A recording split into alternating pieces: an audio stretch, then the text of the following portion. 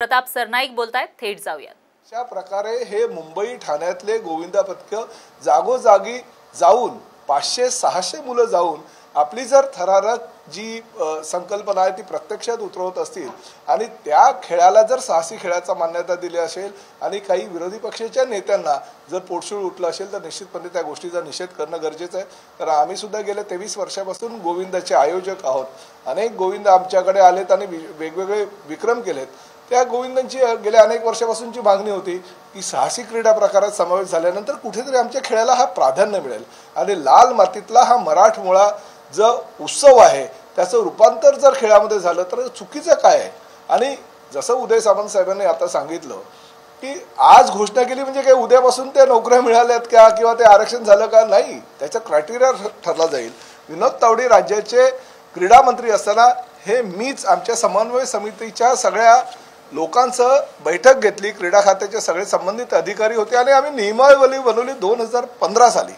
आणि त्यामुळे ही नियमावली तयार झाली परंतु गेल्या सात वर्षामध्ये त्याला प्राधान्य मिळालं नव्हतं.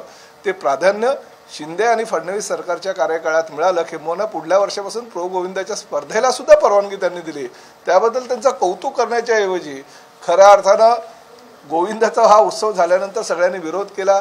काही ग्रामीण भागामध्ये आजही गोविंदा दहीहंडीचा उत्सव मोठ्या प्रमाणात केला जात नाही. परंतु अजितदादांच्या बारामतीमध्ये मात्र गेल्या वर्षा दोन वर्षापासून हा उत्सव जोरात चालू झाला.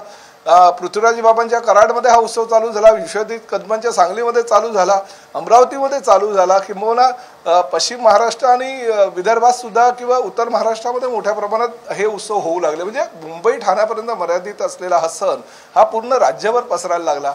त्यामुळे ह्या गोविंदांना कुठेतरी प्राधान्य द्यायला पाहिजे म्हणून एकनाथ शिंदे साहेबांनी ही भूमिका घेतलेली आहे आणि आमच्या समन्वय समितीने त्याचं स्वागत केलेलं आहे. राज्यातल्या जवळजवळ साडेतीनशे ते चारशे गोविंदा मंडळानं आता समन्वय समितींकडे पत्र दिलेले आहेत.